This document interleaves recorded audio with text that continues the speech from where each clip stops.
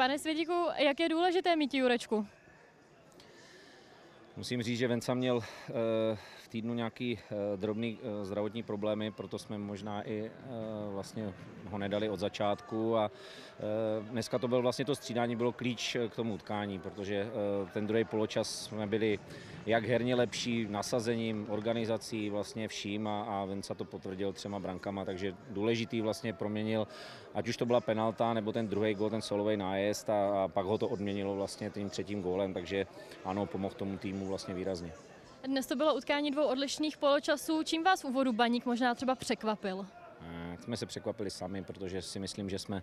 eh, neběhali, jsme hráli jsme nízko, vlastně eh, Baník jsme nenapadali tak, jak jsme chtěli a Baník si čekal vlastně na svoje, na svoje mm, breakové situace, kde měl i postavenou rychlostní sestavu a, a v podstatě my jsme mu k tomu nahrávali za prvé, že jsme dostali eh, lacinou branku, kde jsme soupeři v podstatě nahráli sami a pak si myslím, že jsme dělali hodně ztrát, hlavně ve středovém nebo v tom středním pásmu a nechali jsme soupeře chodit do breakových situací vlastně, takže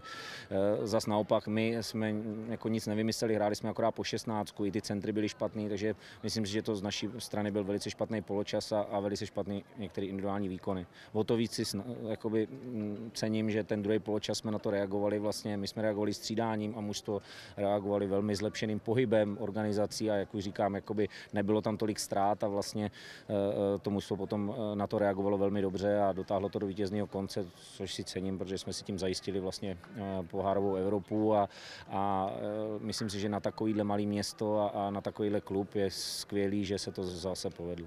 A byl ten vývoj možná varováním před středou, jak těžké je třeba pak i otáčet? tak nebude, nebude se vám to dařit pořád, takže určitě je to zase, je potřeba se z toho zápas, ten zápas si zanalizovat, poučit se z toho a, a e, takovýhle vlažný vstupy, jak jsme měli v Plzni a s Baníkem vlastně tak neopakovat. Vy osobně býváte u střídečky velmi emotivní dnes i, i s tím průběhem, který v prvním poločase byl, tak, tak, jste, tak jste nebyl. Šetřil jste třeba síly na středu? No, věděl jsem, že na hřišti jakoby nic nevykřičím, ale spíš jsem přemýšlel, co s tím udělám. Takže vlastně celý ten poločas jsem tak nějak jakoby e, dumal, co se s tím dá udělat. Sledoval jsem ty hráče a, a, a dumal jsem, co, co, s tím, co s tím vlastně uděláme v poločase, co, co řeknu hráčům vlastně a, a tak, jak je budu motivovat.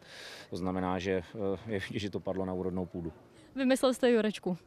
Vymysleli jsme, ano, vymysleli jsme Jurečku a, a i jsme si, myslím, že i to, co jsme si řekli vlastně, že tohle to není naše hra, že takový, nechceme, aby takovýhle Slovácko bylo a, a že na, na, na ten jakoby do druhého poločasu musí vstoupit daleko, daleko jiný Slovácko prostě a, a to, to, to, co známe a to, co chceme a tak, jak jsou hráči vlastně připravovaní a, a tak, tak se musíme prezentovat.